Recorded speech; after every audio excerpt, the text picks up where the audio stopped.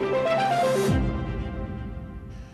Rieccoci a Primus Inter Pares, appuntamento del mercoledì, gruppo TV7, come di consueto vi ricordo che siamo in diretta sulla pagina eh, Facebook. Come avete visto questa sera la puntata è dedicata a un collega, un giornalista coraggioso che eh, di sua spontanea volontà, per curiosità, per bravura, per, che ne so, ha, rischiato la vita, è andato nei paesi, aveva già iniziato in, in Jugoslavia tanti anni fa, però recentemente è andato per molte volte in Siria, in Iraq, passando poi per la Turchia, Turchia per vedere eh, da dove nasce questo eh, famoso ISIS e in questa puntata lui tra eh, chiacchiere e filmati ce lo sta raccontando.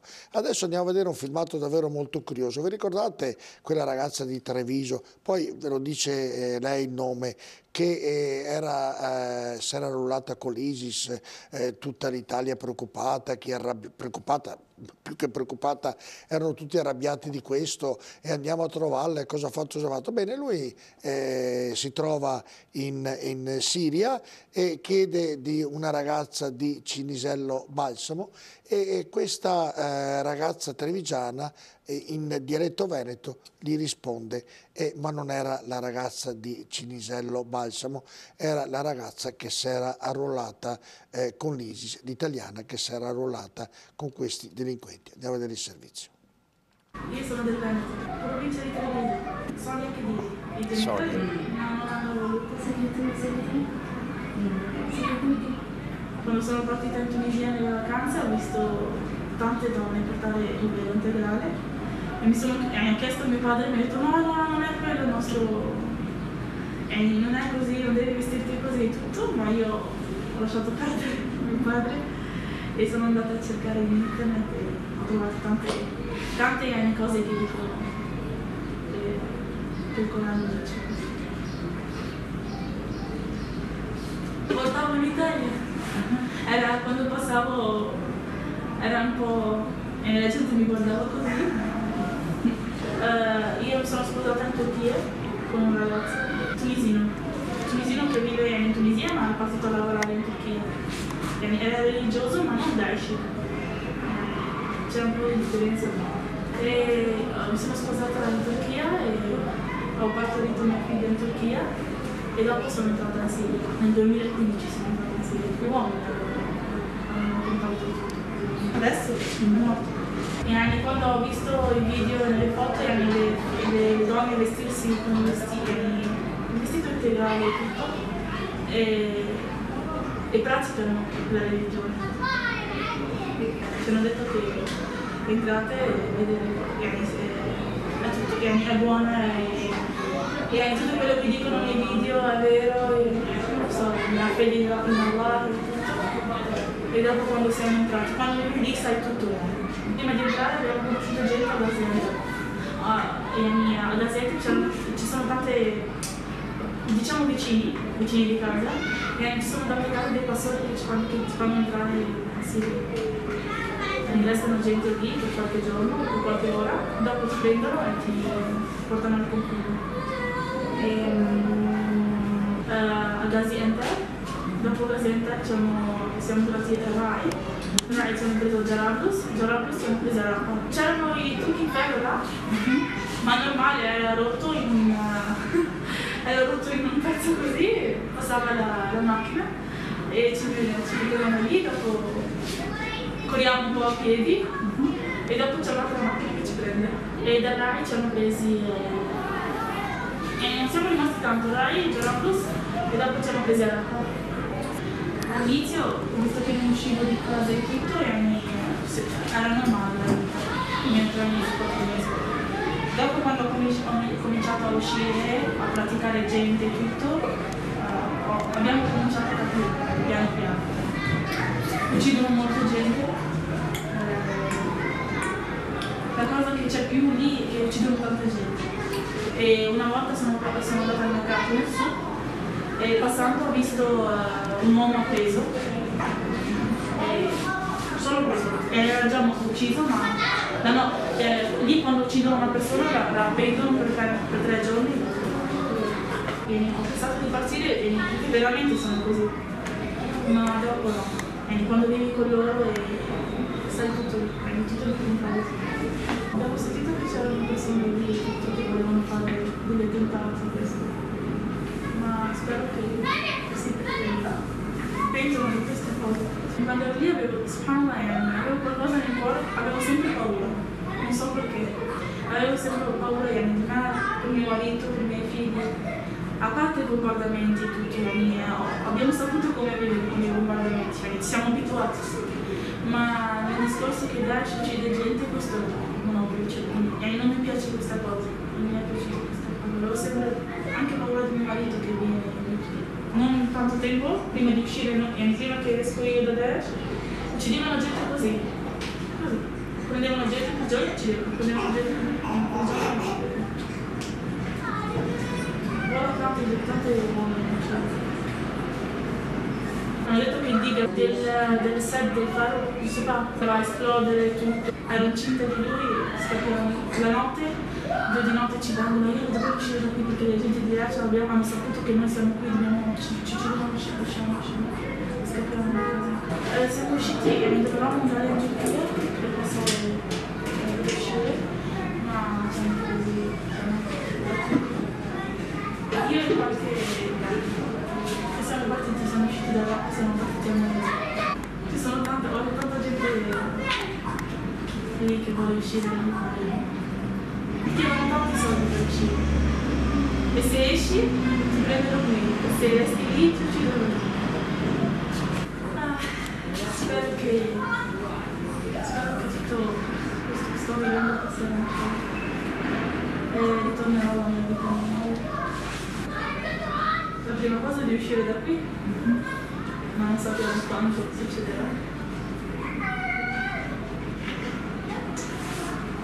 Allora, questa, questa intervista eh, ovviamente eh, non si è sentita molto bene perché aveva il, il velo, lo chiamo io, eh, che copriva la bocca e quindi eh, sicuramente con attenzione eh, si è ascoltato. Questa ragazza si chiama Sonia, è una ragazza che è nata in Veneto, a Treviso, eh, si innamora di un tunesino eh, il tunisino è uno dei capi, pensate, dell'ISIS. Se la porta via, praticamente in parole povere, rimane incinta di due eh, figli, avete visto uno l'aveva in braccio e adesso si è quasi pentita e vorrebbe ritornare in Italia. Nell'intervista il buon eh, Ivan era assieme anche a una ragazza perché la uh, donna eh, eh, dell'ISIS non può parlare con il giornalista, ma deve parlare con la donna e quindi eh, Ivan eh, mandava i messaggi via Whatsapp alla donna e la donna faceva le domande a, a questa eh, Sonia, che mi sembra eh, così, ha raccontato che tante storie che sono, sono proprio reali o sbaglio. Allora, va detto che la, la donna che faceva le domande è Stefania Battistini, che è una collega del TG1, con la, che la quale facciamo spesso questi viaggi perché ah, abbiamo scusa, questa passione. Eh, aggiungo, ricordo che questa intervista in onda integrale così non l'ha vista nessuno, no, eh. eh, l'abbiamo vista qui a TV7 Triveneta, Primos Interpare, ha mandato qualche spezzone alla RAI perché ha cercato di non pubblicizzare l'evento e basta, l'abbiamo mandato noi in maniera integrale.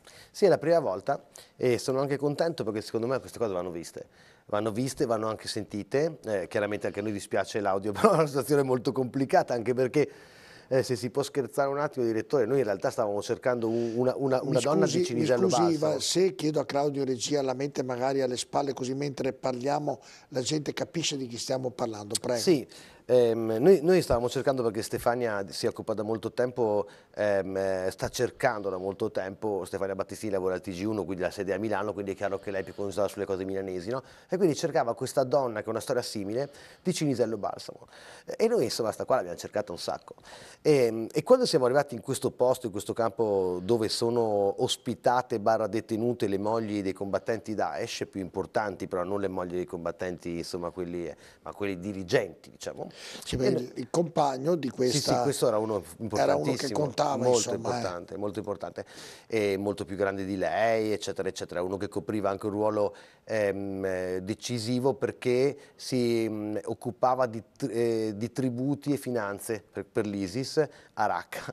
Ecco, eh, eccola sì, qui, sì, bravo, eccola bravo Claudio che ce l'ha messa in... E lei indubbiamente bisogna prendere un po' con le pinze, adesso a me non, non vorrei dire una cosa che magari viene eh, diciamo travisata, però ecco, io prenderei con le pinze tutto quello che ha detto. Sono dei passaggi che sono assolutamente evidentemente eh, verificabili perché lei tipo? arriva, da, tipo per esempio il fatto che lei è passata dalla Turchia, da Gaziantep, che per assurdo è la città da cui sono partito io la prima volta per Kobane, ma Gaziantep è un luogo dove, quando c'è stato l'attentato al Bataclan, eh, c'erano le macchine con le bandiere dell'ISIS che festeggiavano suonando il clacson e questo anche per esempio è un aspetto che non viene mai sottolineato e bisogna stare molto attenti. No, si dice sempre, quando si parla del sud della Turchia, ci sono insomma tante situazioni che non sono chiare, ecco, che non sono esattamente positive, basta vedere insomma, come vivono eh, i civili curdi, che insomma bisogna dire che, che, pagano un prezzo molto molto alto. Ma, questa, detto questo, secondo, lei... eh, ma questa secondo lei eh, è andata per amore? Eh, eh, si è arruolata con l'ISIS per amore perché nell'ultima parte dell'intervista mi sembrava di aver intuito, di aver visto, perché è la prima volta che la vedo anch'io come eh, la, la, state vedendo voi, eh, avesse eh, po' di lacrime agli occhi, cioè mi sembrava fosse commossa. Non so se ha fatto finta oppure quando dice voglio ritornare in Italia mi sembrava commossa, almeno sì. l'impressione che ho avuto. Eh. Quindi presumo l'abbia fatto per amore, sei innamorata di questo tunisino. Beh, la sua storia secondo me è la storia... E vive, e ricordiamo anche dove vive quella... Sì, adesso lei è detenuta, detenuta, che poi è una parola impropria, perché in realtà non sono in prigione e il fatto che queste donne sono in questo campo profughi che sta a 35-40 km da Raqqa, anche perché comunque non è che sono proprio ben viste dal resto della popolazione, perché tu sei la moglie di uno che ha fatto uccidere magari mio zio, mio padre, mio nonno, mio cugino. Quindi insomma c'è anche questo problema, quindi c'è anche un problema di salvaguardia della persona di lei. Detto questo, è ovvio che lei vorrebbe tornare in Italia, però bisogna, insomma, io di questo non voglio entrarci, nel senso che non sono certo io che deve giudicare o decidere, però va detto che sono tantissimi combattenti Daesh che quando arrivavano dall'Europa convinti che lì avrebbero vissuto una vita alla grande, con soldi, donne, case, eccetera, però poi quando hanno capito quello che avrebbero dovuto fare, cioè uccidere altre persone, molti non se la sono sentita, infatti molti sono stati uccisi proprio da altri militari dell'ISIS. Però lei ehm, si è convinta negli anni, cioè è molto giovane, ha fatto un errore gravissimo e io spero, che, io spero sempre che tutto si possa recuperare. Però evidentemente eh, Però fatto un'analisi. Si è un po' rovinata. Si è un po' rovinata. Eh, sì, ha compromesso la vita sua e, e, io dico che mi fa paura pensare che insomma quei bambini crescono in un ambiente. Ma non le avete chiesto come mai porta. No, lei l'ha detto. Lei l'ha proprio detto che lei ha iniziato a portarlo qua, nella provincia di Treviso, dopo un viaggio che aveva fatto, eh, il papà l'aveva mandata appunto ehm, in Tunisia da degli zii e questo, uno di questi zii era particolarmente fondamentalista e, e l'ha, uh, indotta uh, a, uh, a, seguire quei precetti del Corano eh, specifici, quindi quelli più legati diciamo, a loro, legati a, a, a quel tipo non di propaganda. Non qualcosa, ma... eh, chiudendo l'intervista, poi l'intervista non ha detto qualcosa...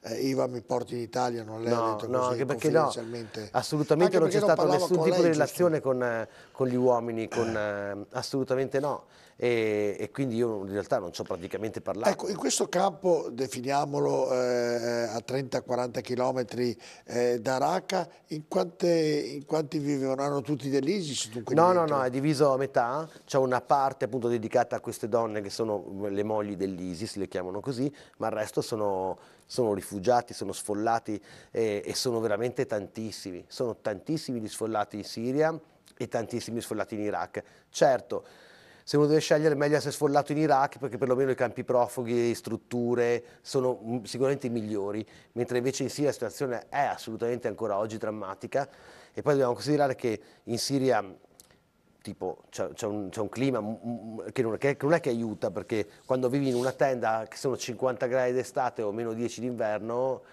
eh, c'è anche questo aspetto qua, in un campo profughi uno quanto può resistere e vivere bene? Non tanto. Questo è Kobane, questa è una giornata tipo a Kobane, cioè con un bombardamento, un'esplosione, un, un, questo per esempio è un, un, mezzo, un camion bomba che è entrato in città e ha fatto 25 morti, eh, e, e, quindi distrugge tutto quello che c'è attorno. Queste persone ci scortano armate perché bisogna anche stare attenti, insomma, come si muove, perché sono tanti cecchini. I cecchini sono una questione irrisolta anche a Mosul, infatti dopo ci andremo a Mosul e a Mosul per i cecchini ci sono ancora. È chiaro che poi dopo le notizie qua cioè, ha meno appeal diciamo, questa storia oggi, però l'ISIS non l'abbiamo sconfitto, non è risolto, non è finito tutto, non ha vinto il bene, insomma, ecco, volevo dire questo, cioè, c'è tanto da fare. Questa è un'immagine sconnessa, però qua noi stiamo correndo perché ci stanno sparando e quindi si sente sotto l'audio che Sentiamo l'audio Claudio mentre sparano, sentiamolo un po'. Sì, sì si vede, si vede dall'inizio, si sente appunto che eh, noi facciamo quel passaggio eh, veloce. Allora facciamo così, stiamo quel passaggio veloce dove... Proprio per far eh, capire appunto anche le eh, condizioni in cui si Ivan, lavorano. Eh, schivava le pallottole. Beh no, dai. Beh, se hanno vicine sicuramente... No, sì, io cerco lei, sempre di... Di, di sdrammatizzare, sì, ma qui, ecco sentiamo.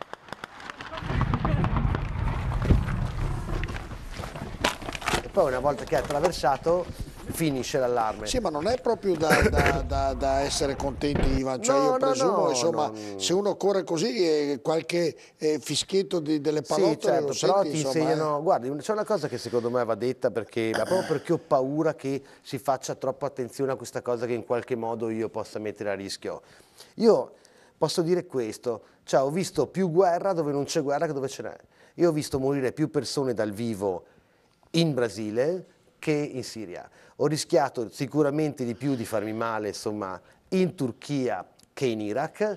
Però eh, con un piccolo particolare che è andato in Brasile e in Turchia, non nello stesso periodo che in Siria lanciavano le bombe gli americani. Sì, questo... Perché avrebbe rischiato parecchio anche lì, presumo. Eh. No, no, che voglio dire che la guerra, periodo... no, lo voglio dire perché la guerra ha delle regole precise, le regole eh, precise che sono ehm, certi orari del giorno accade poco, che sono che impari a muoverti, impari a distinguere proprio anche con l'udito eh, chi spara, da dove spara, che cosa spara, che sembrano sciocchezze, ma sono quelle che ti salvano. Invece in un contesto dove la guerra non c'è, non è dichiarata, tu cammini tranquillo per una favela, non ti aspetti che da un camion uno spari alle persone che passano. In Turchia non ti aspetti che durante un pranzo, non ti aspetti che mentre sei al mercato di Erbakir arrivi, certo, scoppi la sparatoria. Quindi Beh, è, è quel livello di attenzione che diventa pre, sì, ti mette è, in pericolo. È anche vero il ragionamento che fa lei, Ivan, se lei si trova eh, al Bataclan, si trova in centro a Barcellona, si trova a Londra, arriva il eh, certo. camion. Certo. Uno non se l'aspetta. Non se l'aspetta per forza. E quindi la cose. reazione è difficile. È, un po' anche più preoccupante. Eh, senta, adesso lasciamo un attimino la, Libia e andiamo in Iraq. Dalla Siria in Iraq, andiamo sì. a vedere questo filmato che eh, ci racconta cosa. Ma qua è interessante secondo me vederla Mosul, perché di Mosul si è parlato tanto, no? questa guerra per liberare è durata 7-8 mesi, non si capiva mai se, eh, se era finalmente liberata o meno. E diavolo, la, la, la, zona antica della città, bellissimo luogo, in macerie, eh, è, è, veramente ridotto, ridotto, a zero. Andiamo a vedere allora.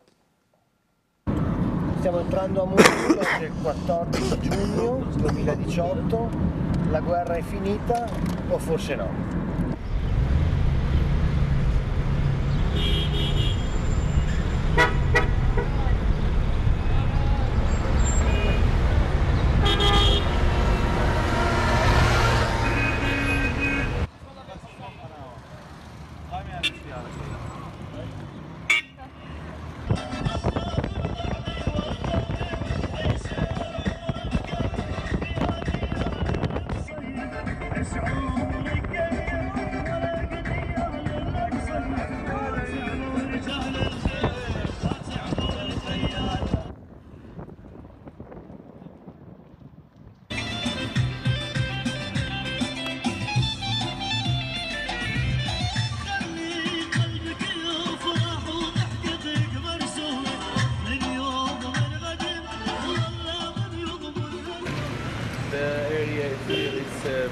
Dangerous because uh, there are many IEDs.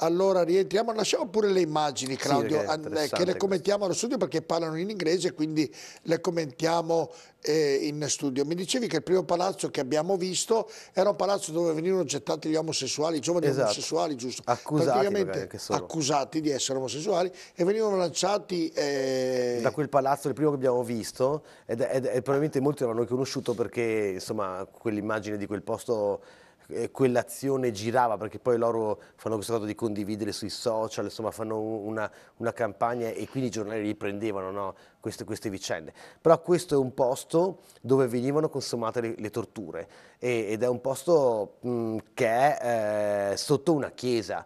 Le chiese cattoliche venivano molto spesso, lo vediamo in queste immagini, utilizzate come luoghi di tortura, luoghi di segregazione, luoghi ehm, dove eh, offendere diciamo, eh, la religione cristiana era anche quello una forma di comunicazione, cioè era una forma di affermazione di forza. E le, le torture più atroci, Ivan, quali erano? Le torture sono veramente atroci perché poi io dico sempre che il male non è molto originale, nel senso che si ripete no? il fatto di rinchiudere la gente negli stadi, l'abbiamo visto anche in Latino America, lo facevano, quindi non si sono inventati nulla, il fatto di muoversi nei tunnel lo fanno in Arcos in Messico e lo fanno anche loro, il fatto di esporre i morti lo fanno eh, appunto le bande ehm, di narcotrafficanti in Latino America e lo fa anche l'ISIS, quindi non c'è niente di originale, è terribile però perché la tortura è qualcosa di assolutamente scioccante anche se eh, si vede soltanto un luogo dove è stato consumato. E lì si respirava questa cosa che le persone venivano appese, venivano